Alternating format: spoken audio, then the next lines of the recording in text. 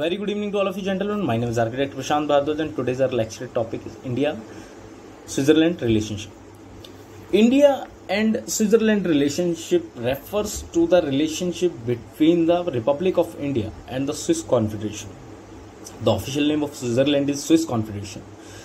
Basically, India Switzerland relationship got highlight amid in fourth virtual uh, bilateral dialogue during uh, uh, the COVID period, or which was held in 2021. Let's get into the brief history of both the countries. Switzerland recognized India as a partner when India got independence in 1947. Both the countries are the peace lover country and they also want to maintain peace on the global level. So this is, was also the major reason between a good understanding between both the countries. The both the countries signed uh, the treaty of friendship agreement on 14th of august 1948 after that india also recognizes one of the fact that in 1851 the swiss trading company volkart was established in basel and mumbai. It unusually at that time it uh, expanded its network on a very huge scale and the branches and diversified its activity on the subcontinent and becoming the backbone of the Switzerland economy and consular towards uh, the presence in India. Talking about the first diplomatic engagement between both the countries was the treaty of friend uh, treaty of friendship which was signed in 1948 undoubtedly. Diplomatic missions between uh, both the countries were opened in Bern and Delhi uh, soon after its uh, conclusion. Talking about the economic and cultural ties between both the countries india is switzerland's fourth largest uh, uh, trading partner and also the largest trading partner in asia and the largest in south asia in 2018, Swiss exports precious metals, agriculture products, chemical and pharmaceuticals from the India. Import mainly of chemicals, precious stones, pharmaceuticals, or uh, I would say the uh, the other things like cotton, plastic, etc. was amounted uh, CHF around 17 billion US dollar at that time. And India having a long tradition of cultural relationship with the countries.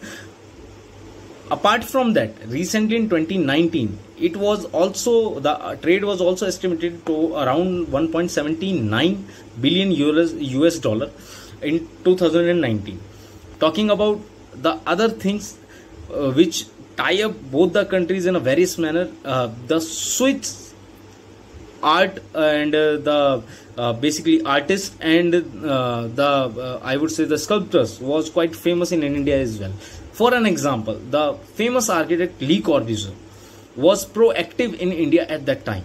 And the other one, the great artist and sculptor uh, Alice uh, uh, Boner was the main, was the basically the main artist, or I can say the very famous person.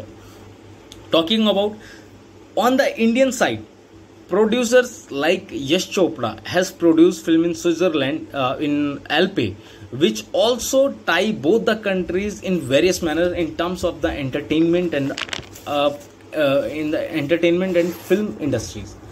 Let's talk about the how is bilateral relationship between india and uh, switzerland.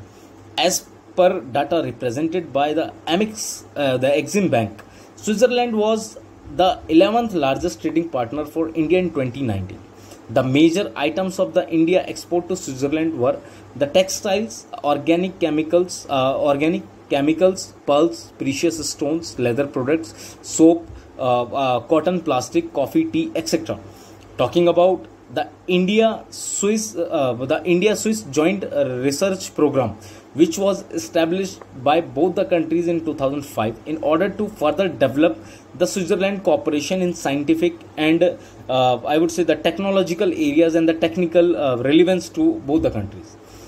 Talking about the current scenario, recently on 9th of June 2022, Switzerland become the uh, member of uh, uh, become the uh, temporary member of the elected Uh, uh, talking about Indo-Swiss research uh, program which was launched by both the countries in 2005 in terms of the development in infrastructure development in cooperation in scientific uh, in scientific manner in technical authorities in artificial intelligence etc now talking about the current scenario recently on 9th of june 2022 the switzerland got uh, elected uh, for the member for the temporary member of the uh, united nations security council for the period of 2023 to 2024 switzerland says it intends to play its role as a bridge builder between the countries